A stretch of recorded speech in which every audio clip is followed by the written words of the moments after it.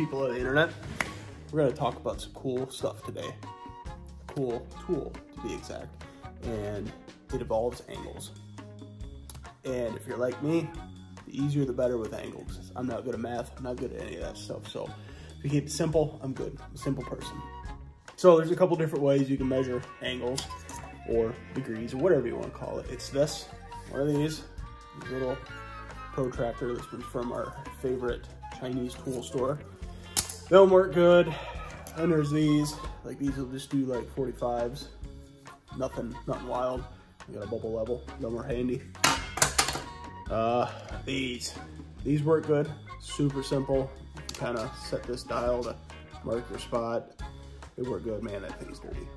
Had this for a long time. Used them a lot. And this one's magnetic too. And it's got a drill bit stuck to it. Cool.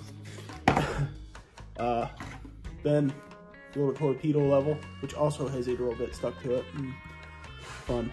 Uh, I guess you could probably use this to measure stuff, angles, whatever. Not very accurate. And then there's this big behemoth. Uh, he works good, but man, he's big. And you can lock this thing, and it gives you a little digital readout and whatnot. Has its place, but there's better options. That is, come here, little guy. This dude right here. This is made by Klein. See it up there? Uh, orange. That's cool, right? Can't lose it. It has a magnetic base. Only one side is magnetic, not the rest of them. And it even tells you which side's magnetic. So that's cool. So how's this thing work? Well, let's turn it on. Oh, it's already measuring angles. So you see it, it is pretty accurate as I turn it here.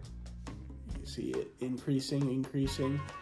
And if you get into a spot where you can't see see the uh, display there, you can actually click the hold button, pull it off, and you look at it and see it stays.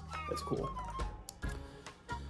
So what if you're in a situation where, say you're building like a chassis or something and you gotta match the angles of some tube or whatnot, uh, you could set this on your known angle tube and for this it's gonna be wherever it lands. Then we can hit zero and it'll zero back out. And then at that point, we can go over and jam it on our other tube and just get it to zero. When it hits zero, you know, you got your right angles. It's pretty neat. Uh, inexpensive, like 20, 30 bucks or something like that on Amazon. They sell cheaper ones. This is a name brand. Uh, that's about all I got, man. I think you'll like them. Get a couple of these, put them all over your shop. They're cheap enough, so when you lose one, you got another one. But when you lend your buddy one, he never brings it back. You got another one. So either way, neat tool. I think you'll love it.